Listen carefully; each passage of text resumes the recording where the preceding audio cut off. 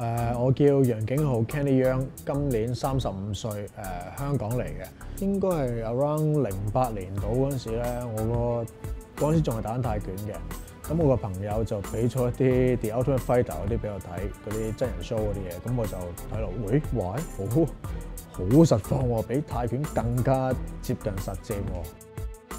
經過一場比賽之下，認識咗我對手，原來打 MMA，咁我就透過佢就識咗我當其時我嘅第一個 MMA 教練。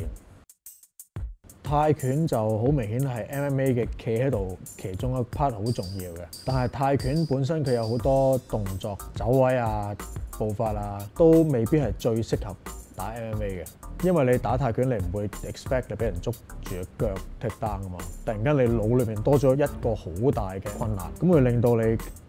泰拳出拳踢腳嘅時候，你咪個避忌咗好多咯。但係經過後期慢慢自己 adjust 打比賽啊，得翻嚟嘅經驗啊，咁終於自己可以 sort out 到邊啲係應該用多啲，邊啲係唔應該用，邊啲適當嘅時候先至用，呢啲都係靠我自己嘅經驗學翻嚟。有啲認為香港本身嘅格鬥賽事唔係好多啦，所以最好參加獨立嘅武術啊，打下 boxing，